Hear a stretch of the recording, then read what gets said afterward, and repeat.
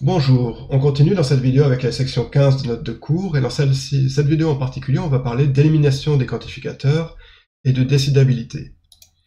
Alors pour rappel, une théorie T est décidable s'il existe un algorithme qui répond au problème ci-dessous, ce problème qu'on appelle décision de T, pour T le nom de la théorie.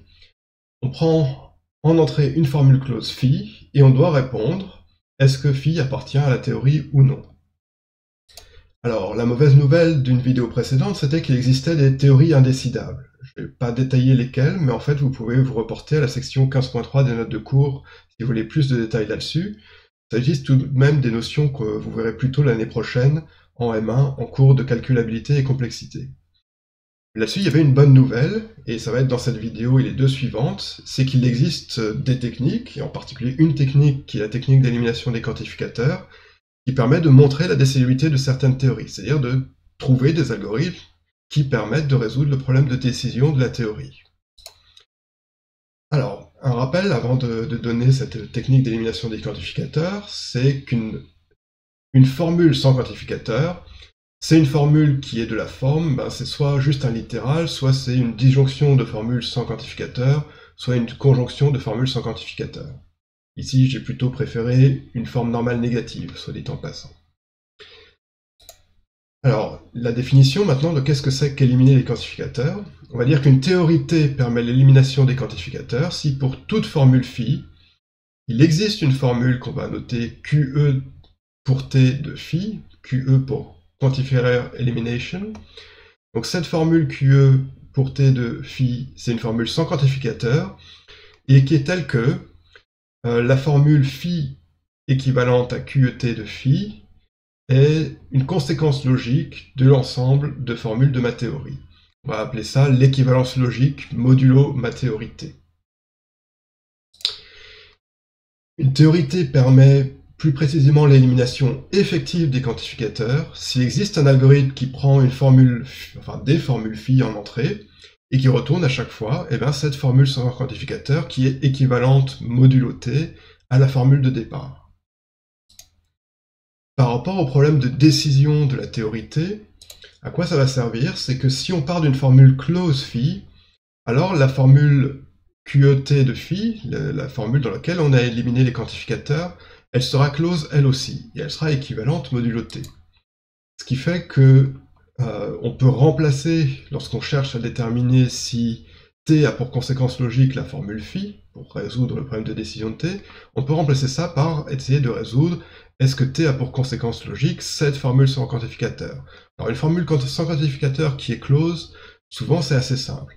Par exemple, si vous avez ni proposition ni constante dans votre signature, c'est une formule qui est juste vraie ou fausse, euh, qui, est, juste bottom ou top. Il n'y a pas d'autre possibilité. Vous ne pouvez pas construire euh, de termes si vous n'avez pas de quantificateur et que la formule est close. Vous ne pouvez pas construire des termes à partir des variables. Du coup, il ne vous reste plus rien. Donc votre formule, c'est juste bottom ou top. Du coup, déterminer si t a pour conséquence logique bottom, non. Conséquence logique top, oui. Ok. Donc ça, une fois que vous avez trouvé cette formule, les choses se passent généralement bien. Maintenant, qu'est-ce qu'on va utiliser comme, euh, comme, outil pour faire cette élimination des quantificateurs? Euh, Dans cette vidéo, je vais juste donner euh, une procédure un peu générale qui va marcher pour peu qu'on sache faire quelque chose. Et faire ce quelque chose, ça va être capable de traiter le cas des formules primitives existentielles. Donc qu'est-ce que c'est qu'une formule primitive existentielle? C'est une formule de la forme j'ai une quantification existentielle de x sur une conjonction d'un certain nombre fini de littéraux, tels que chacun de ces littéraux a la, variable x qui est libre à l'intérieur du littéral.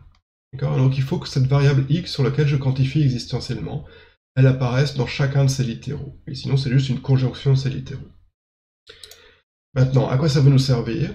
Ben, Voici un lemme qui nous dit que si on a un algorithme qui calcule, qui fait l'élimination des quantificateurs pour ma théorie pour des formules epsilon ici qui sont primitives existentielles, donc qui sont de la forme ci-dessus. Dans ce cas-là, la théorie T permet l'élimination effective des quantificateurs, c'est-à-dire qu'il, du coup, si j'ai un algorithme qui sait faire l'élimination des quantificateurs juste pour les formules primitives existentielles, alors j'ai un algorithme qui sait faire l'élimination des, quantificateurs pour toutes les formules. Donc voyons un peu la démonstration. On va donner les principales étapes d'un algorithme qui calcule l'élimination des quantificateurs pour une formule phi donnée en entrée, pour n'importe quelle formule phi. Alors ça va être un algorithme qui va travailler par récurrence. Ici, la preuve est par induction sur phi, ça veut dire que c'est un algorithme où je vais faire appel à l'algorithme sur des sous-formules de la formule phi. Maintenant, on va regarder les différents cas de figure selon quelle est la forme de ma formule phi. Si c'est une formule atomique, disons une formule alpha, alors elle est déjà sans quantificateur. Donc du coup, j'ai rien à faire, je peux retourner directement, dire que l'élimination des quantificateurs pour la théorie T de alpha, bah, je retourne directement à alpha, et c'est bon. Ensuite, si ma formule c'est une négation, non phi, alors par hypothèse d'induction, on sait calculer l'élimination des quantificateurs pour la formule, la sous-formule phi, d'accord? Essentiellement, ça veut dire que je peux faire un appel récursif à mon algorithme sur la sous-formule phi, et ça va me retourner une formule sans quantificateur équivalente modulo théorie à la sous-formule phi. Et du coup, qu'est-ce que moi je peux renvoyer? Eh bien, j'ai qu'à renvoyer la négation de cette formule ici sans quantificateur qui est, et du coup la négation de cette formule sans quantificateur, elle va bien être équivalente modulo théorie à non phi, c'est bon, c'est ce qu'on cherchait. Troisième cas, si je travaillais avec une disjonction phi ou psi. Encore une fois, par hypothèse d'induction, on sait calculer l'élimination des quantificateurs pour phi, et on sait la calculer pour psi. Essentiellement, ça revient encore une fois à faire un appel récursif à mon algorithme pour la sous-formule phi et pour la sous-formule psi. Et dans ce cas-là, tout ce que j'ai à faire pour, euh, pour finir, c'est retourner, euh, répondre que je vais prendre la formule ici dans laquelle j'ai éliminé les quantificateurs de phi, ou la formule ici où j'ai éliminé les quantificateurs de psi. Ça, ça va être la réponse de mon algorithme. Ça, c'était les cas faciles. Euh, ce qui va se passer maintenant, c'est le cas où j'ai une, une, une quantification existentielle. Donc dans ce cas-là, ma formule est de la forme il existe x telle que une, sous-formule phi. Par hypothèse d'induction, encore une fois, on sait calculer l'élimination des quantificateurs dans la formule phi, dans cette sous-formule phi. Ça revient à faire un alpère récursif de l'algorithme. Première étape de l'algorithme dans ce cas-là. On va mettre cette formule ici, dans laquelle on a éliminé les quantificateurs de phi, on va la mettre sous forme normale disjonctive. Donc cette formule dans laquelle j'ai éliminé les quantificateurs, c'est une formule où j'ai des disjonctions, des conjonctions et des littéraux.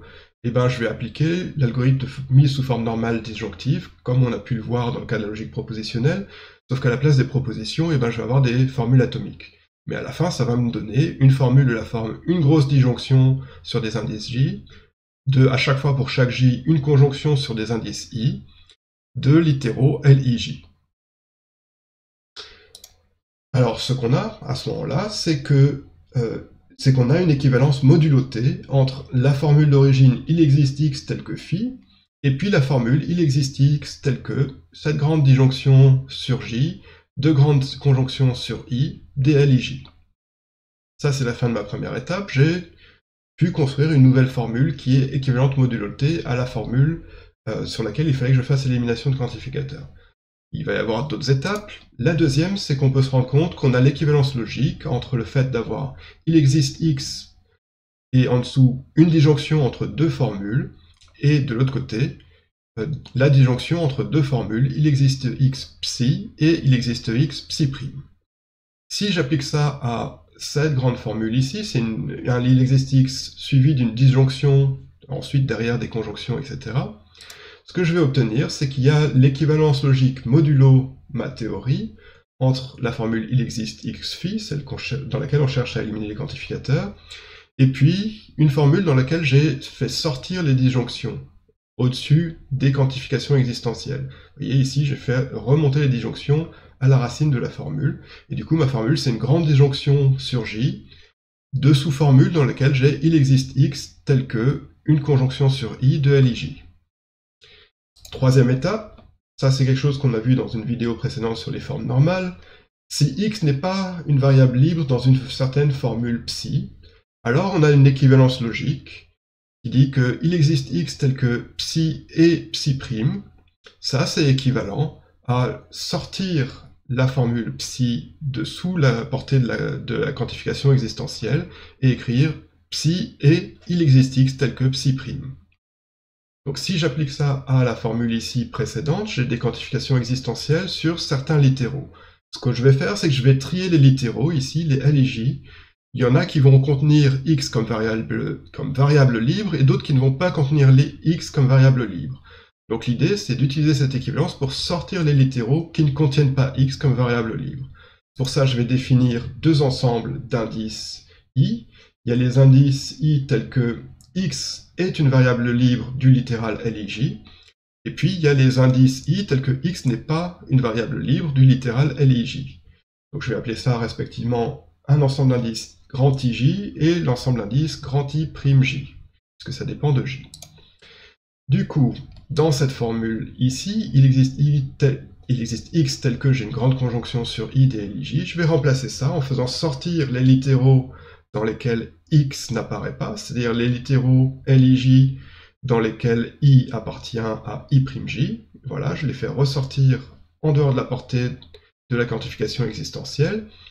Et je me retrouve avec une équivalence modulo matérialité entre la formule d'origine il existe x tel que phi, et puis cette grande disjonction sur j d'une formule qui est une conjonction entre d'un côté la conjonction des littéraux qui ne contiennent pas x comme variable libre, et de l'autre la formule il existe x telle que la conjonction des littéraux qui contiennent x comme variable libre. Alors, on arrive à l'étape 4. Pourquoi on a fait tout ça? C'est parce que ces formules ici, il existe x telles que conjonction des littéraux LIJ pour les indices i tels que LIJ contient la variable x comme variable libre, ça, c'est une formule primitive existentielle. Pour chacun des indices j, chacune de ces formules ici est une formule primitive existentielle. Or, ce qu'on a supposé dans l'énoncé de mon c'est qu'on avait un algorithme qui prenait une telle formule et qui nous fournissait l'élimination, qui faisait l'élimination des quantificateurs et nous fournissait une formule De cette formule il existe x telle que conjonction des LIJ pour i dans ij, euh, qui nous fournissait cette formule-là, qui est bien équivalente modulo t à, à la formule. Et ce, pour chaque indice j, on sait calculer ça, du coup. Du coup, voilà ce que va retourner notre algorithme au final.